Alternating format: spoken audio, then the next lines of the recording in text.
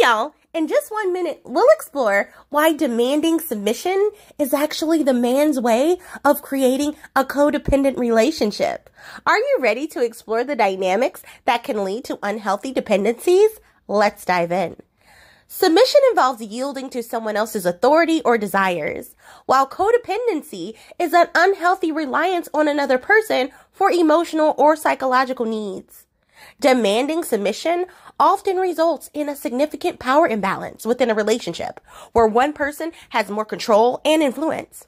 In such dynamics, the person being demanded to submit may gradually lose their autonomy and decision making power, becoming reliant on the other. Codependency often involves suppressing one's own needs, desires, and emotions to meet the demands and expectations of the dominant partner.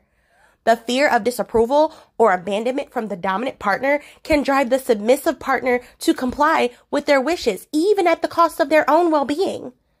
Over time, codependency can lead to a loss of individual identity as the submissive partner's self-worth becomes intricately tied to the approval of the dominant partner.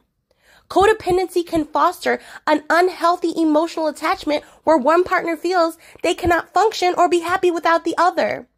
The submissive partner's self-esteem can suffer as they constantly seek validation and approval from the dominant partner. Codependency often hinders the development of self-reliance and personal growth as the submissive partner becomes overly reliant on the dominant partner.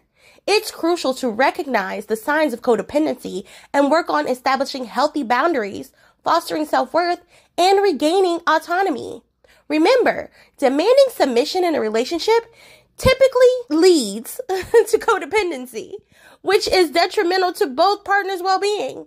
By fostering communication, mutual respect, and the importance of individual autonomy, we can build healthier and more balanced relationships where both partners thrive. Recognize the value of equality and self-worth in relationships and work towards creating a partnership that encourages personal growth, independence, and mutual respect. You've got the knowledge. Now let's apply it to create relationships that empower and nurture both parties equally.